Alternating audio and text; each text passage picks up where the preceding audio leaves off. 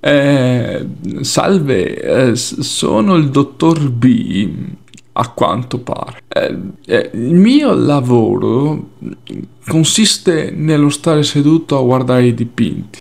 Eh, che, eh, dunque, che, che cosa posso dire guardando in particolare su questo dipinto? Beh, il primo luogo è che è un quadro bello grosso un pregio straordinario. Perché se, perché se, fosse stato molto piccolo, che so, microscopico, nessuno temo avrebbe, avrebbe mai potuto vederlo. E sarebbe stato un enorme peccato. Beh, è, è il secondo luogo.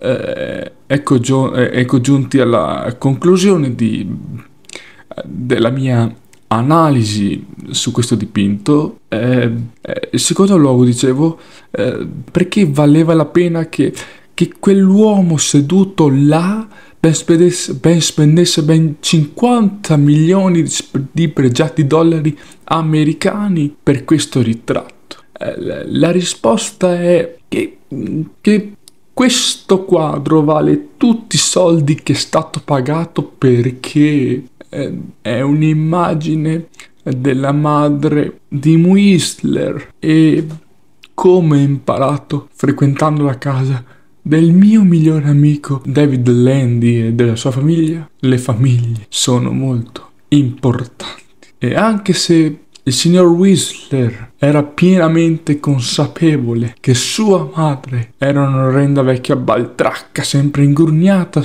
quasi che, avesse, quasi che avesse un cactus in mezzo alle chiappe.